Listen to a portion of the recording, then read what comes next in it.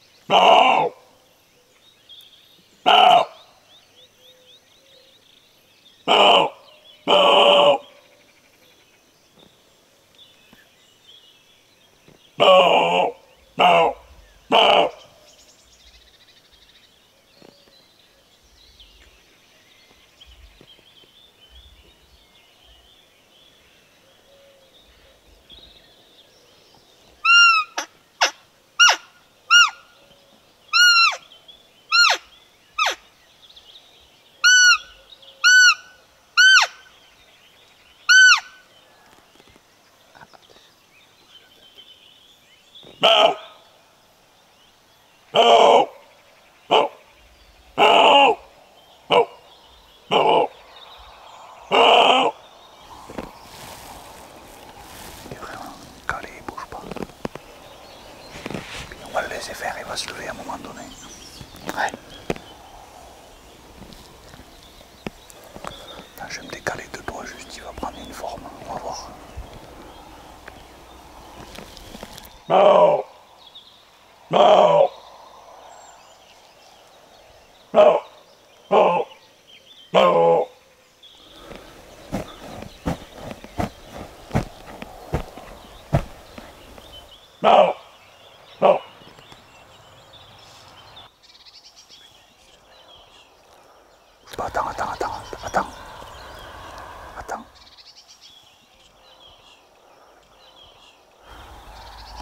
c'est haut. J'y vais là. Attends un peu. Ouais, J'y vais Ouais, attends qu'ils se mettent en travers. Attends. Hmm.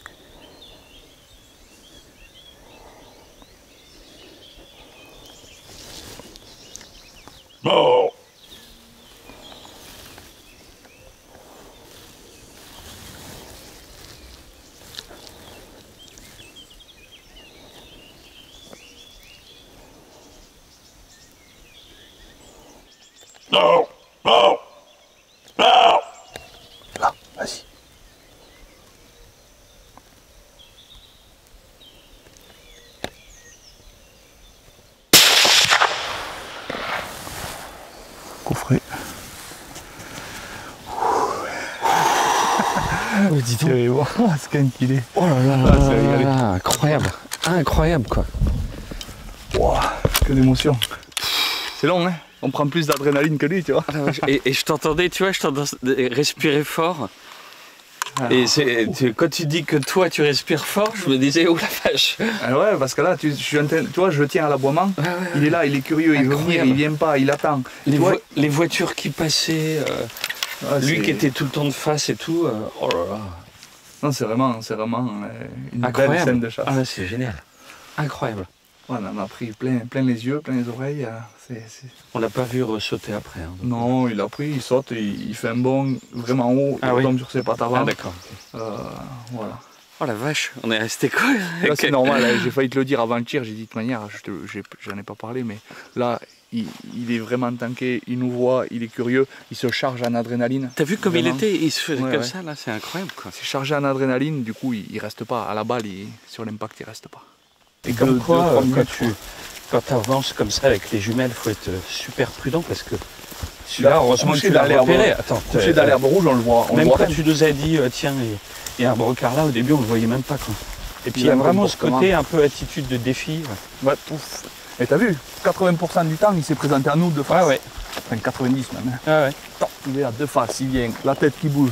Les trucs, c'est des, c'est vraiment des scènes de chasse. Il n'y a qu'à l'approche qu'on voit ça. Simplement. Ah, c'est génial. Alors, c'était par là. Et Ça, c'est lui qui a gratté, tu vois déjà. Ah ouais, d'accord. c'est gratté. Toc, regarde. Ah. Il y a du sang. Il y a du sang sur les blés. Ah ouais. A du sang sur le C'est blé. du sang de foie, on dirait. Ah. Là.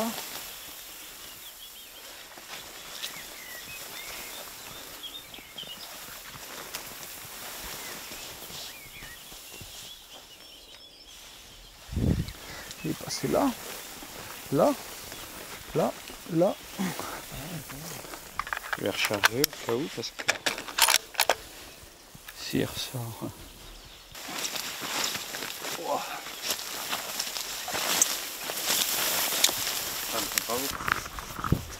Ouais, dis donc, il est sympa.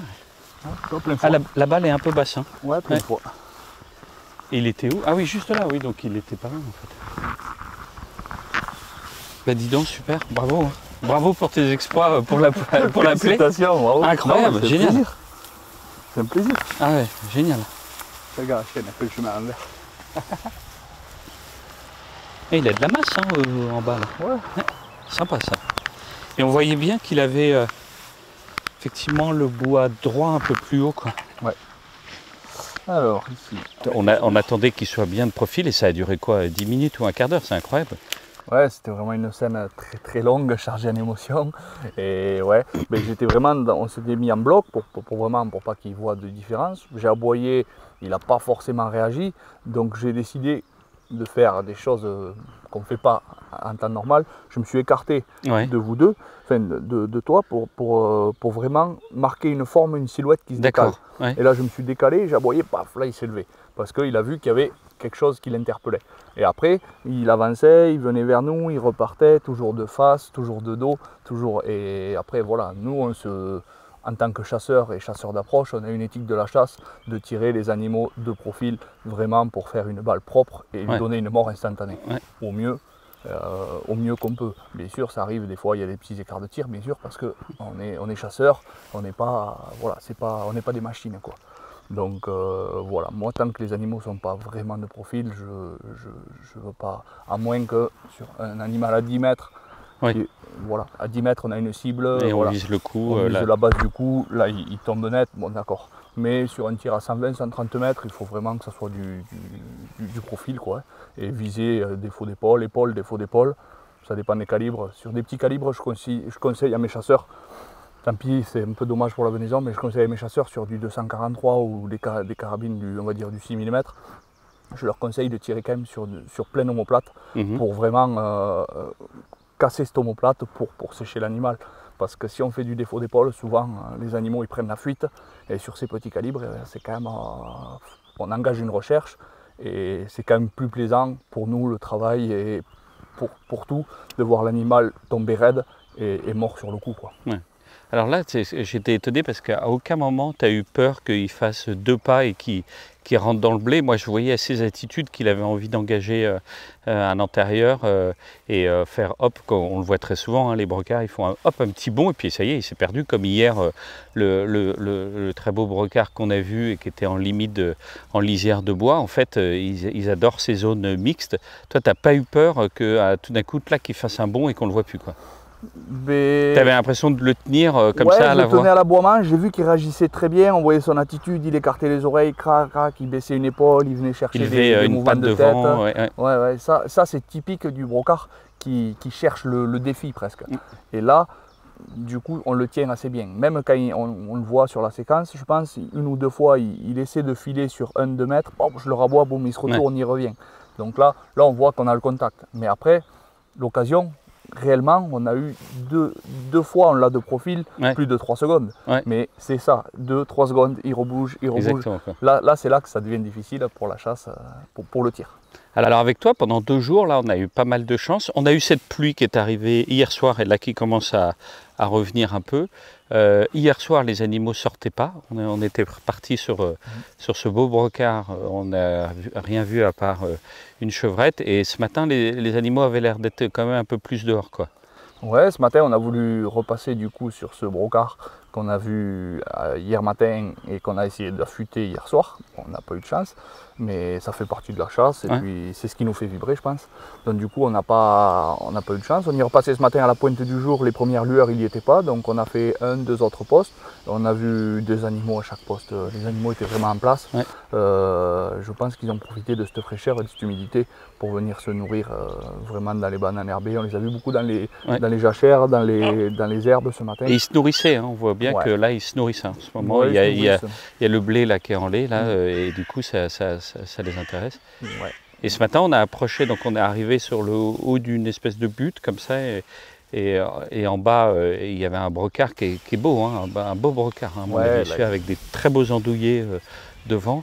Et lui, alors c'est typique, c'est-à-dire qu'on est arrivé en plus par le dessus, euh, en faisant un peu de mouvement. On avait l'impression qu'il était relativement peu apeuré et en fait ça a été très vite. Il a remarqué qu'il a commencé à marcher un peu plus vite. euh, on a beau essayer d'avoir mis des stabostiques. euh, en, en un quart de seconde, il est parti et on n'a pas réussi. Même en l'aboyant, il s'est même pas arrêté. Quoi. Là, c'est ça, on l'a vu, il était en train de se nourrir tranquille, il frottait ses, petits, ses petites repousses d'arbres. Et bon, voilà, on a voulu aller au contact vraiment très près parce qu'on voulait, on avait décidé d'aller Ouais. au contact. Et là, on est sorti sur une butte en plein horizon. Bon, là, il, a, il nous a capté de suite les formes. Blam, là, il s'est mis vraiment fixe face à nous, à nous regarder. Ça a duré peut-être euh, une minute à nous regarder, à nous regarder, à nous fixer.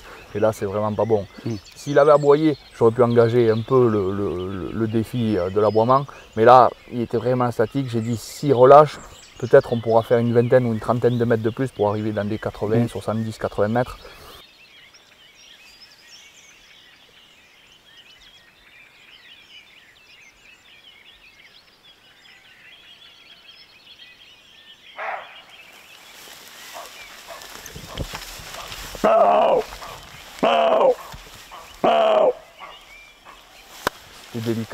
On a voulu essayer et là, l'animal, euh, ben, comme il se passe souvent sur les animaux matures, il s'est levé, il, il s'est levé, il est parti, enfin, il, s'est- il levé, non, il, il a pris la fuite et il est parti directement Ouais. dans le bois. Dans le bois, et on l'entendait femelle, euh, aboyer après, ouais.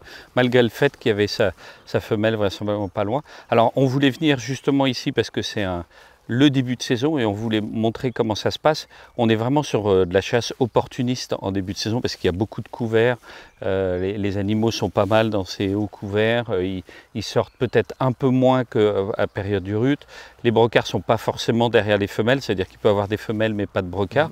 Donc euh, euh, réexplique-nous un peu, mais cette chasse de début de saison, c'est ça. Ça veut dire que tu profites un peu des repérages que tu as fait, mais quand même tous les animaux ne sont pas connus. Et euh, voilà, il faut essayer de saisir souvent, comme là, on, l'a fait tout à l'heure, euh, les occasions, parce qu'on n'est pas dans cette effervescence du rut ou des brocards qui sont derrière les femelles. Ouais, c'est ça. C'est ça. Le début de saison, c'est vraiment. C'est différent. Moi, le début de saison, j'en profite beaucoup. On fait, on fait quelques beaux, beaux brocards, mais on en profite surtout en début de saison pour faire du tir de, on va dire, du sélectif un petit peu, éliminer tous ces jeunes brocards de 2-3 ans qui, qui ont, qui ont des trophées, euh, on va dire, euh, très moyens, non réguliers, des trucs vraiment euh, pas jolis, qui manquent de Ouais. pointe, qui, sont, qui sont chétifs. Quoi. Les Mm. trophées, on voit que les trophées qui n'ont pas, Qui n'ont pas qui d'avenir. n'ont pas quoi. d'avenir. Voilà, vraiment, euh, on, essaie de, on essaie de tirer ça. Euh, J'ai un chasseur qui vient euh, tous les ans, une dizaine de jours, et qui justement a compris le système de, la- de- de la sélection et qui tire ces mauvais brocards pour, pour, pour avoir des bons plus tard. Quoi. Et pour garder potentiellement sur le territoire une génétique, une génétique correcte. Donc euh, début juin, on chasse beaucoup comme ça. Après, euh, bien sûr qu'on a des animaux euh, repérés, comme celui qu'on a fait avant-hier soir. Euh, voilà, on a des animaux repérés avec des, des- des jolis trophées. Mais voilà, en juin, il peut sortir trois soirs à la suite ce brocard. Et après, pendant une semaine, on, ne- on peut ne plus le voir. C'est compliqué. juin, juin c'est une chasse très délicate à cause du couvert. On ne les voit pas tout le temps. Les animaux y sont, mais on ne les voit pas forcément. Mais c'est une chasse, euh, c'est vibrant, c'est Ouais, vibrant puis- parce que justement ce couvert nous fait, nous fait, enfin, nous aide à faire des belles approches. quoi. Et toi, tu en profites, tu le, tu le dis souvent, c'est la période où tu préfères approcher les animaux le plus possible, déjà pour mieux voir les trophées, et, pa- et par ailleurs, tu trouves que la quintessence de la chasse à l'approche, c'est ça, c'est de se rapprocher le plus possible. quoi. Bien sûr, euh, le contact, euh, le contact, plus on va après, plus. euh, en fait, voilà, sur un animal qu'on a, par exemple, on va trouver un, un brocard à 250, 300 mètres, on va se mettre avec une longue vue, on va le juger, on va discuter. Mais Mm. quand on arrive sur un animal à 25, 30, 40 mètres, Mm. ben là, en fait, le silence, il fait, il fait tout le reste. On est là, on ne parle même plus, on met notre, on met notre canne de pirche en place, chasseur il vient, clac, clac, boum. Parce qu'on concrétise une action par rapport à l'approche. On ne vient pas forcément euh, concrétiser un trophée, on vient concrétiser une action de chasse. Et là, moi, c'est là où je prends le plus de plaisir et c'est là que tout notre métier de guide de chasse prend son sens en fait. Bon, bah, en tout cas, bravo, merci de nous avoir accueillis ici. On a, on a vu pas beaucoup d'animaux, comme euh, c'est souvent le cas dans le Gers, mais surtout, on, a pris euh, énormément de, de plaisir à approcher derrière toi, à voir ces brocards qui nous aboient, cette opportunité sur euh, un renard aussi. Donc on, a fait du bon boulot pour la faune en même temps. On va, on va rappeler aussi un truc qui est étonnant, c'est qu'on voit plein de faisans, on voit plein de lièvres. Donc euh, la petite faune, et en, particulier le gibier sédentaire, a l'air de quand même bien reprendre un peu. En tout cas, euh, les faisans sont bien implantés dans le coin. Et puis les lièvres, on en voit pas mal. Toi, tu disais que c'est la culture bio, apparemment, le fait que On a 80% des, agriculteurs qui sont passés dans- sur une culture bio, donc c'est quand, même, c'est quand même intéressant parce qu'il y a toujours du couvert végétal l'hiver, mais il y a, et après il n'y a, a plus de pesticides, il n'y a plus d'antilimaces, il n'y a plus tout ça. Donc je pense que pour le petit gibier et surtout enfin, le, petit, le petit gibier, le faisan, le faisan c'est en train de, de revenir parce que justement les couvées de faisan peuvent se cacher dans ces jachères, peuvent se cacher Mm. dans ces, dans ces féveroles, dans ce triticale, euh, parce que le problème qu'on a c'est surtout ces, ces buses, ces milans, euh, tout ce qui est rapace. Euh, quand on fauche un champ d'herbe, on a, on a des centaines d'oiseaux qui nous tournent autour du tracteur, donc là autant vous dire que la moindre nichée euh, Mm. de faisans, euh, ils y passent tous, quoi. les petits faisans d'eau, tout ça, ça y passe tous. Et après le lièvre, depuis trois ans, la fédération nous a mis un plan de chasse de trois lièvres par personne, par chasseur, ce qui Par a, saison. par saison, voilà, dans tout le département. Donc du coup, euh, c'est vrai que c'est c'est intéressant. Il n'y a pas forcément beaucoup de chasseurs de lièvres. Ici, ils chassent le lièvre au chien courant encore. Mhm. Mais c'est vrai que depuis qu'ils ont mis ce PMA et depuis qu'il y a cette agriculture bio, donc la non intensive, euh, on voit des populations de lièvres impressionnantes. Ouais, on Ça arrive de voir beaucoup, ouais. 5-6 lièvres dans le même champ, euh, ce qui est ce qui arrivait, ce qu'on voyait pas il y a, il y a 5 ans. Quoi.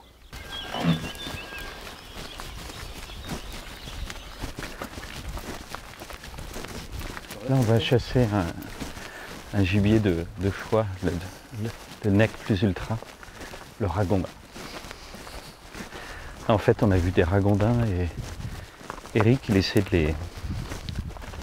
les, réguler parce qu'il y a énormément de, ragondins qui font des, gros dégâts dans les cultures. Et à cette époque-là, il a l'autorisation de pouvoir les tirer. On, va s'en occuper si on arrive à les approcher parce qu'ils sont méfiants. Donc,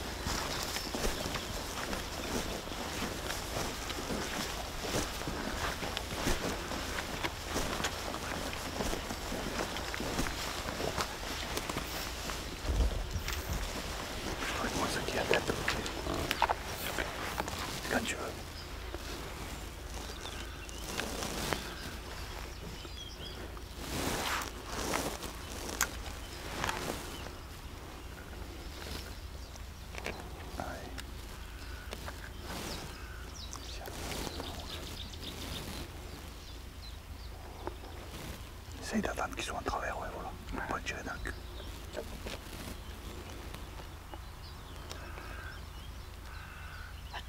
Attends. Ok, ok. Je fais un plan sur lui. Ouais, ouais, vas-y, vas-y, attends. Attends, qu'ils se mettent en travers. Ouais, bien sûr.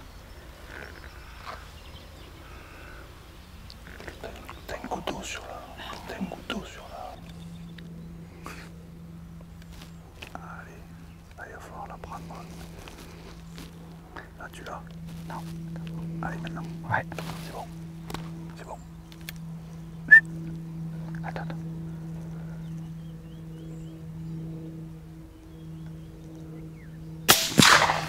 Là-bas. Il s'arrête. L'autre, doublé là-bas.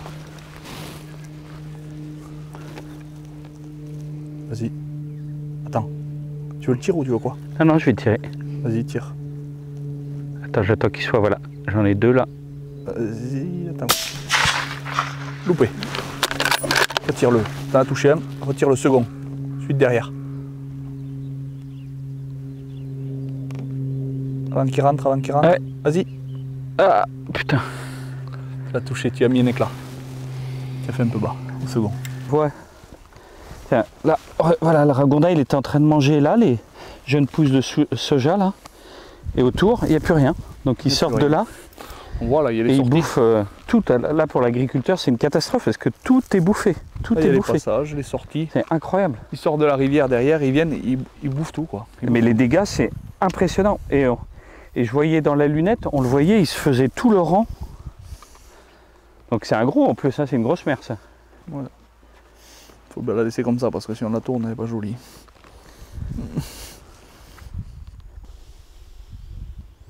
Ouais, c'est. euh, Côté là? Non, l'autre il y est pas. Mais ce qui m'impressionne, c'est Dégâts. les dégâts. Franchement, C'est vraiment.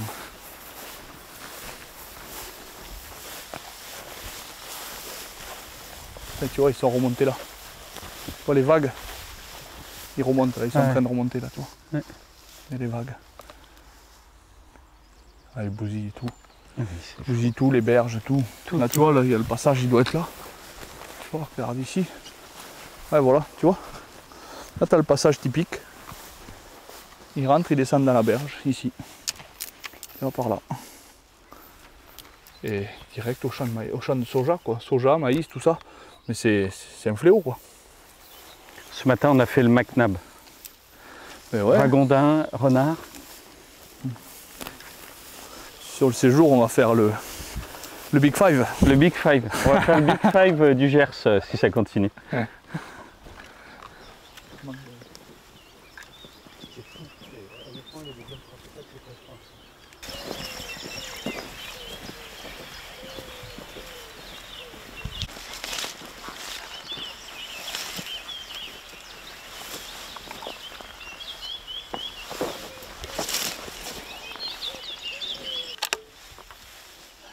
je prends juste. euh, Je prends pas le canon, je prends juste. euh,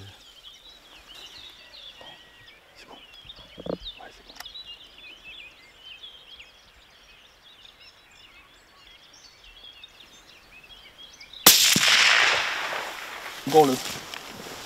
On voit le maïs là. Voilà. Il a carrément bouffé, coupé en biais. Ça c'est typique du ragondin. Là on voit, là il en a, il en a coupé un, il a bouffé que la tige. C'est vraiment là, ici. On voit encore. Là, c'est tout frais.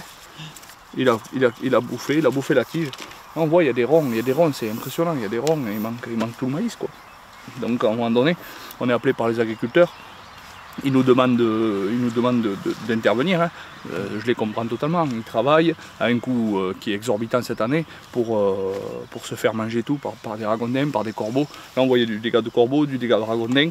Sur une parcelle de- d'un hectare et demi, il y a quand même, je pense qu'il y a, au moins 30 arbres qui sont mangés. Quoi. Donc, c'est pas du travail. Quoi.